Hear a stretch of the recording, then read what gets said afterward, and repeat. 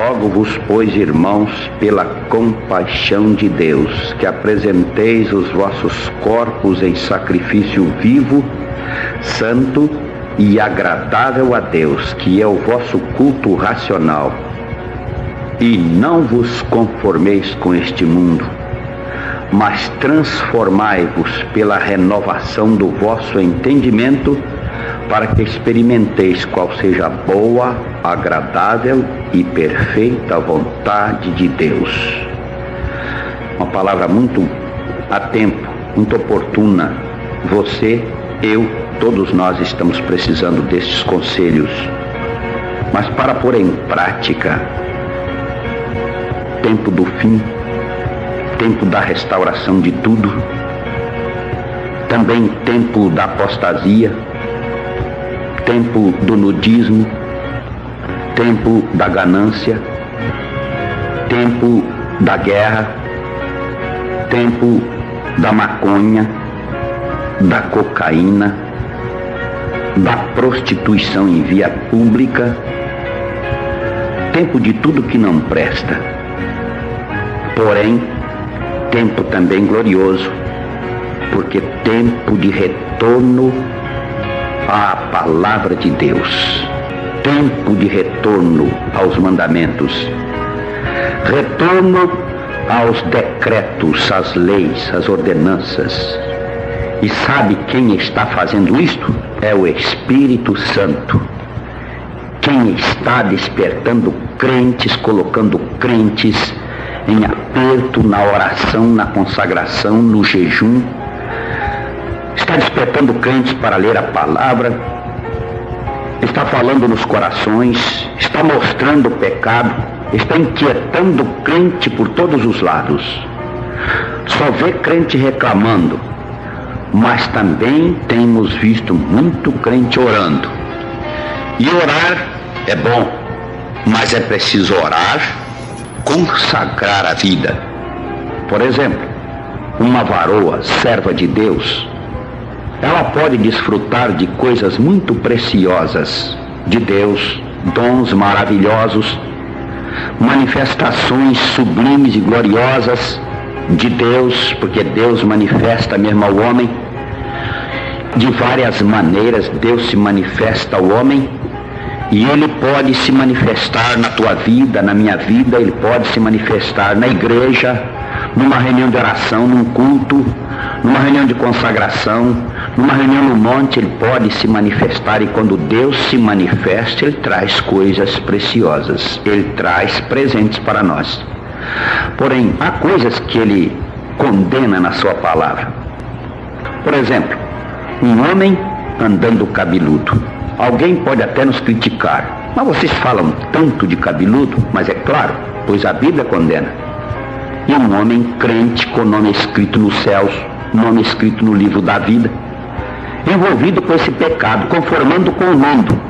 Ele está conformando com o mundo, porque os ímpios, os profanos andam assim, o servo de Deus tem que ser não. Certa ocasião, o senhor usando um vaso falou para nós, servos, quando o vosso adversário disser sim, vós dizeis não. Quando vós disserem sim, que ele diga não. Mas nunca conformeis com o vosso adversário. É o mundo. O mundo está posto no maligno, vaidade por todos os lados, pecado de todas as maneiras. Crentes não podem entrar por este caminho, por este emaranhado de carnalidade, concupiscência, de maledicência. Então, crente para receber manifestações de Deus, porque existem muitas manifestações por aí, até em língua estranha, profecia, dança, pula, mas não são manifestações de Deus. Porém, existem as manifestações de Deus. Mas Deus se manifesta num homem, numa mulher santos, santas, que procuram obedecerem a sua palavra. Uma mulher, por exemplo, crente, que pena, que pena. Uma mulher crente cortando o cabelo. Que pena. Um vaso de Deus está se quebrando que pena uma mulher crente pintando os lábios, pintando os olhos. Que pena uma mulher crente andando de calça comprida. Que pena. Deus precisa dela. Deus quer usá-la. Deus quer se manifestar a ela. Deus quer dar-lhe coisas, dar-lhe coisa preciosa, mas ela está trocando. Como Esaú, que tinha o direito da primogenitura dada por Deus, mas ele, por causa de um prato de lentilha, um prato de sopa, ele trocou o direito da primogenitura. Depois queria consegui-lo novamente na arrogância, na violência, na perseguição.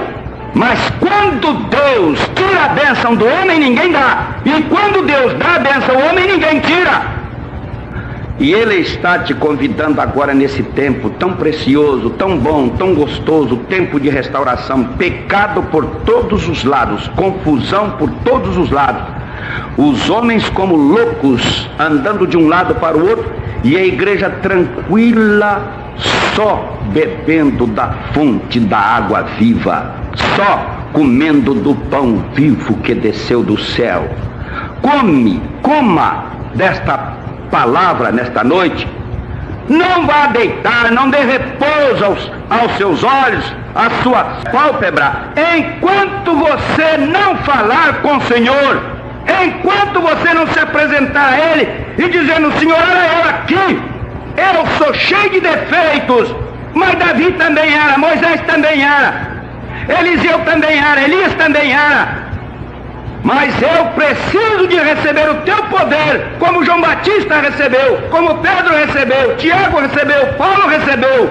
Eu preciso do teu poder. E ele vai distribuir do seu poder para você também.